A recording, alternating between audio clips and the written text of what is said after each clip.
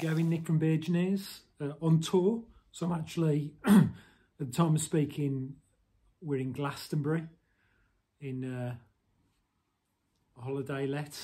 Uh, and this is a local brewery, so Glastonbury Voodoo, which is a 4.8 session IPA.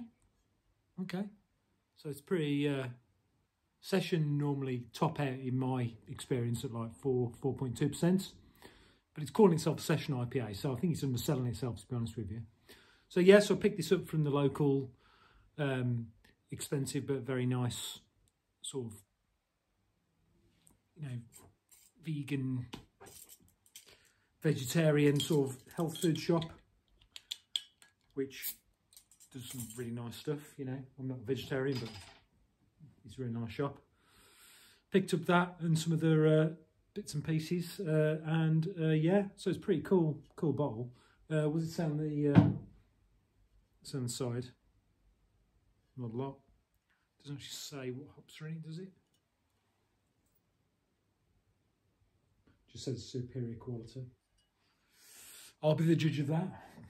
So let's get into glass and see. Pretty aggressive pour. That's how I like to do it uh, get some of the gas out of it. It's rare that I review a bottled beer. I normally tend to go, you know, normally the stuff I go for is craft, uh, is canned. Um, so what we got, so it's pretty, it's like a standard sort of pale ale to be honest, it's not very hazy. Certainly no oats or wheat in that. Um, on the nose,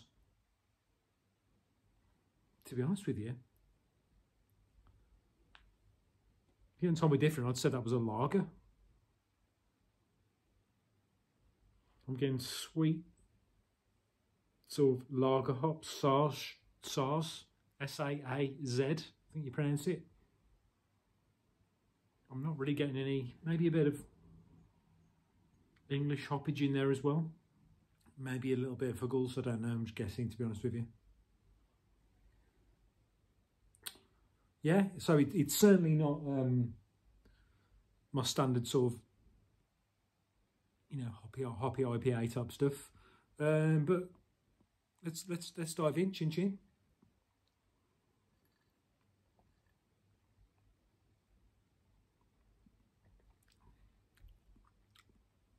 Okay, so it's not a lager.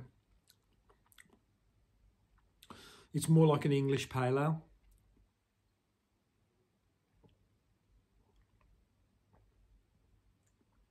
It's really quaffable, actually. Yeah.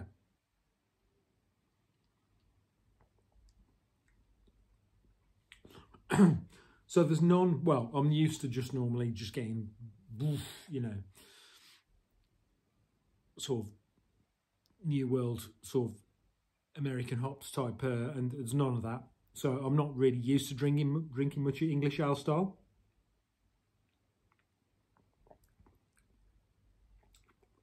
So it's a bit underwhelming, to be honest with you, compared to what I'm used to drinking. But it's nice. It's it's sort of thing, you know, on a sort of not as it's been today. It's been beautiful um, weather today. We've been out and about. We've been up Glastonbury Tor. In all the sort of, you know, the hippie crystal shops that we have on the high street, that sort of thing. Um, I'm going to say Glastonbury, sorry for those of you that know. So we're not actually at the festival which is obviously the case if you because we're currently uh, currently filming this at the end of March, uh, and the festival's in June. Glastonbury, the town centre, um, and it is the hippiest place, certainly in the country, possibly the planet. I don't know. Um, it's literally an entire high street of crystal shops, shamanic healers, um, cafes, that sort of thing uh, yeah, it's, it's a nice vibe. Anyway, sorry about that. Back to the beer. Not a lot to say about it. It's English pale. Um, there's not really anything up front. Sort of sweetish, light-bodied. At the end of it, there is a sort of, yeah, almost like a lager hop type bitterness at the end. But to be honest with you, my, my palate is just so battered from drinking West Coast, um, East Coast mountain IPAs with ridiculous levels of hoppage. I'm, I'm not. I, I can't. I'm not really best qualified to talk about this. Rating. I think two ratings. So for me, me myself, I would give this four and a half, five. I wouldn't buy it again. So it doesn't meet the six rating, which means I'd buy it again. I'm not going to buy this again. It's pretty underwhelming. But as an English pale ale, you know, you're sitting outside, nice sort of, you know, nice day, nice British pub. Yeah, I'd uh, I'd probably go for that again. In which case, I'd probably give that a six, just about. So yeah, um, let's go for benefit of the doubt because the label's pretty cool. Six out of ten for Voodoo.